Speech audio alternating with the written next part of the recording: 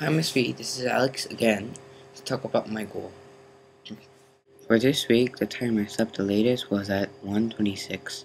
The earliest time I slept at was 11.42. It was a great improvement since every day else never passed 1 o'clock. Also, I had two extra weekends to sleep late. This showed me that I have improved a lot and that a little more would be able to reach my goal.